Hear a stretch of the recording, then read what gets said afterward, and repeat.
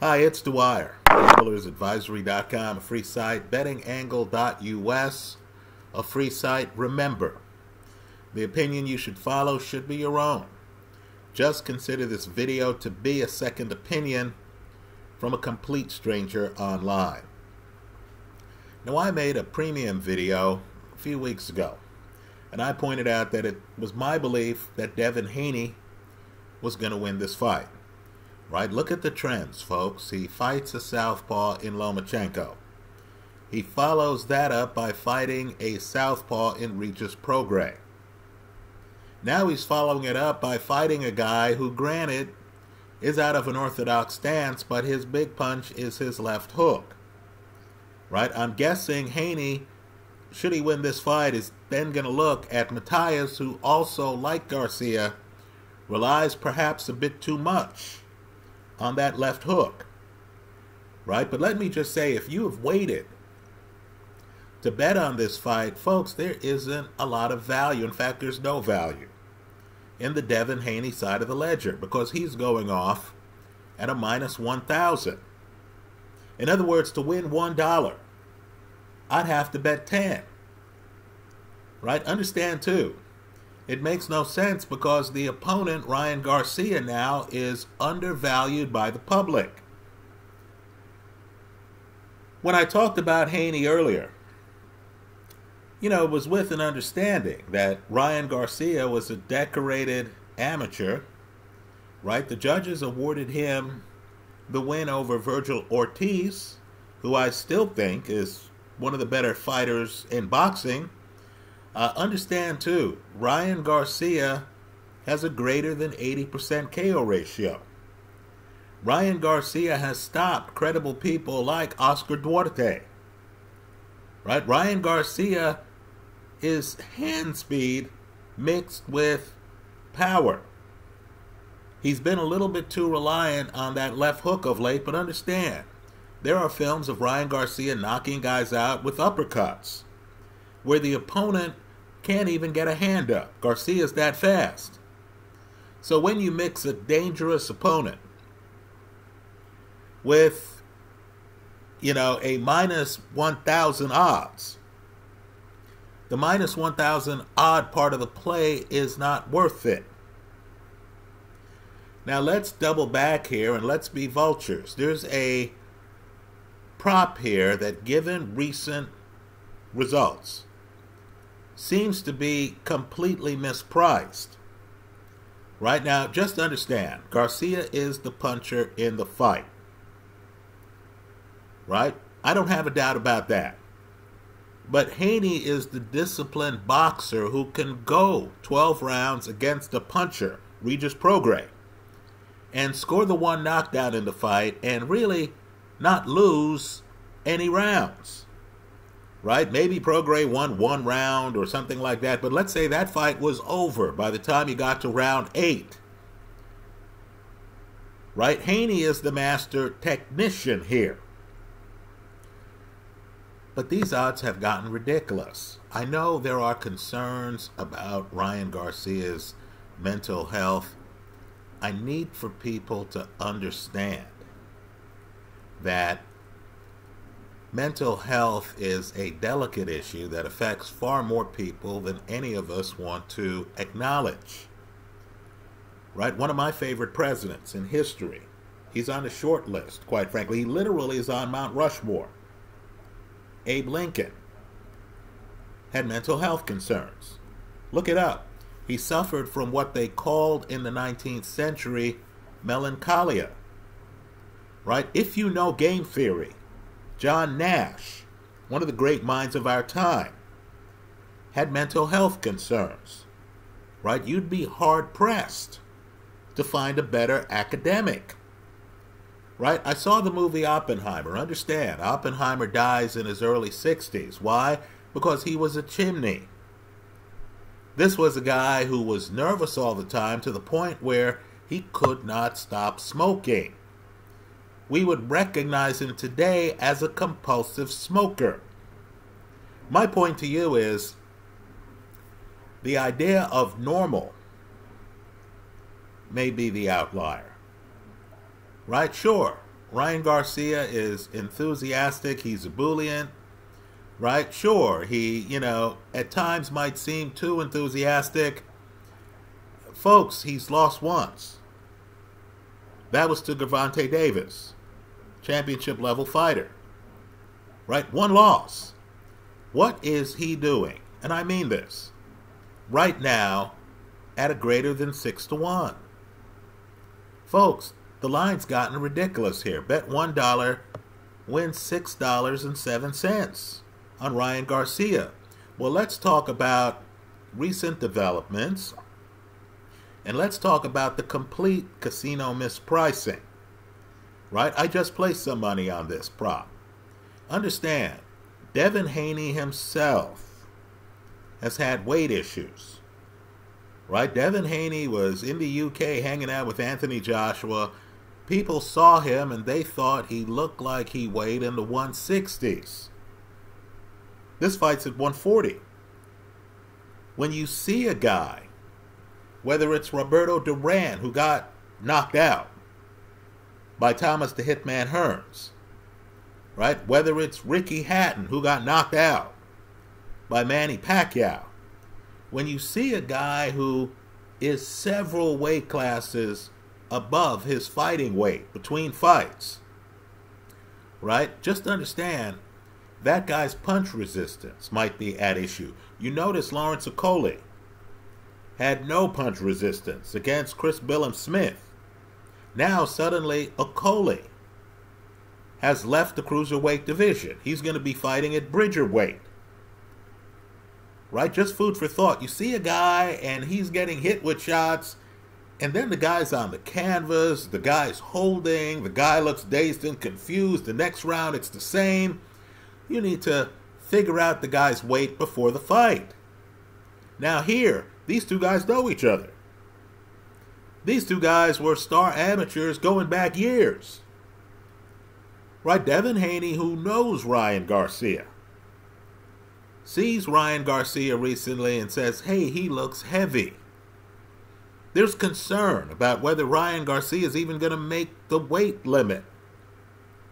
Right, folks, in situations like that, where a guy, you know, has to lose a lot of weight at the last minute, you need to question the punch resistance.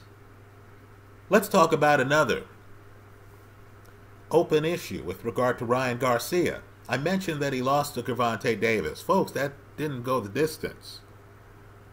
That's a stoppage loss. Revisit the film. Gervonta Davis hits him in the ribs. There's a delayed reaction. Then Ryan Garcia goes down. Now, I got to tell you, if fighters study films, if a guy like a Terence Crawford saw that film, right? A Teofimo Lopez saw that film. A Ramirez saw that film. One of the questions in their heads in a fight against Ryan Garcia is, hey, how well is Ryan going to take my body shots? Do I even have to hit this guy in the head to knock him out? We just saw a heavyweight fight, Kabayel against Makhmudov, where Makhmudov looked big and tough, looked like he was straight out of a Rocky movie. You would have thought he was Ivan Drago. Then, of course, Kabayel starts hitting him in the body. I believe even Kabayel was surprised. Kabayel starts hitting him in the body, and he folds up like a lawn chair. Right, suddenly you're looking at this, you know, muscular looking dude, and you realize Mr. Muscle here can't take body shots.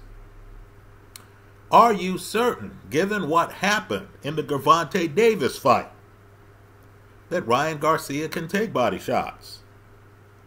I think Devin Haney's going to try to find out. Right? Understand, too, when you're dealing with punchers, a puncher only has to be right once.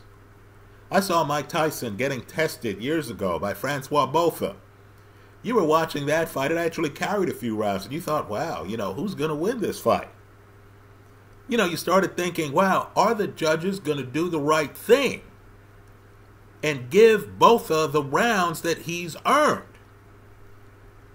Well, of course, all those questions went out the window because Tyson leaned down, landed one good shot, and that was the fight. We've all seen fights like that. Understand, as highly skilled as Devin Haney is, right? All it takes is one good shot from Ryan Garcia, and that could end the fight. You know, I was watching that Ryan Garcia Oscar Duarte fight. Folks, Garcia was in trouble. Now I know knockouts cause amnesia, right? Ryan Garcia, of course, turns around, gets the stoppage. We've forgotten about that fight. Revisit that fight. Garcia's in trouble, and there's several more rounds to go. So my point is simply this: you have it all here. You have two guys who apparently have gained weight when they're not fighting. Right? Devin Haney, keep in mind, he's relatively new to 140. He's only fought Regis Prograis at 140. And already when he's hanging out with AJ, he's up around 165. Right, folks? That, you know, I don't know what to say. You treat your body badly, your body sooner or later will start treating you badly. Right? Ryan Garcia, you know, here you have Devin Haney who knows him, sees him. It's like that college reunion where you see guys and you're like, whoa, dude, you know, have you been eating good food or something? You know, is life this good? Right? You see old friends and they have extra weight. Folks, Ryan Garcia is going to have to lose that weight. The prop that's mispriced is whether this fight goes the distance. Right, folks? Believe it or not, they are giving you better than even money. Right? That's an over under of 12 full rounds. Right? If you're in the 12th and both guys are drained, they're breathing out of their mouths, uh, you know, they're struggling, you still have a chance to win this bet. And they're giving it to you at better than even money. Let me say this too. You know, you don't even have to be the guy on your front foot to get the stoppage. Think Ali Foreman right? If the other guy is hyper aggressive, and wasn't that Ryan Garcia against Gervonta Davis? If Ryan Garcia decides he's going to make a statement, he wants the stoppage, and he's on his front foot chasing Devin Haney, folks, you chase a world caliber fighter too aggressively, you end up being reckless you leave yourself open for shots. Understand, with this over under at a plus 119, better than even money, I don't even need to know who gets the knockout. I just need to feel that a knockout's going to happen. And that's in a fight where Ryan Garcia has a greater than 80% KO ratio for his career. So I think Devin Haney's going to win the fight. I think the weight thing gives me pause, right? I believe you're getting these odds because, you know, I don't know. I don't even know why you're getting these odds. If the public thinks Ryan Garcia is too crazy to fight, how could they expect him to go 12 rounds? Somebody explained that to me in the comment section of this YouTube video. Let's remember too, Haney knocks down Regis Prograis. Let's think this through too. I know Haney's good defensively, but wow, didn't Lomachenko land a few good straight left hands against him when they fought? Right, folks? If bigger guy, he's 140, not 135, and According to Haney, he's even bigger than that. If a bigger guy, much bigger puncher, Ryan Garcia lands punches like that, it's not going to go the distance. Right? So I expect Haney to win. I don't expect this to be a polite fight. I think both guys are going to throw shots. I think the guys have history. You're in a venue, New York City, where they're going to boo you. If you come out there and you look like Riyad Murray did, against uh, Big Baby. They're going to boo you. Right? I don't think either of these guys wants to be booed. I think both guys consider this to be a statement fight. Right? So, I'm not expecting the very politeness that we saw in Prograis against Devin Haney, or even the politeness that we saw in Jorge Linares against Devin Haney. Right? I'm expecting action. I'm expecting combustibility. I'm expecting recklessness. Right? I was not expecting a plus 119 that the fight goes the distance. I've just grabbed that prop. Right? I've just grabbed that prop. Because when there are weight concerns, when it's a uh, high stakes fight and guys are talking about, you know, uh, hurting the other guy, it's been so ridiculous. You've had members of Haney's corner, and shame on them, talking about if he dies, then he dies, right? Line straight out of Rocky Four. I mean, literally. Right? If guys are going to fight with that level of ferocity, then this plus 119 on the fight not going the distance is a gift. Those are my thoughts. Let me hear yours. I hope you leave them in the comment section of this YouTube video. Thanks for stopping by.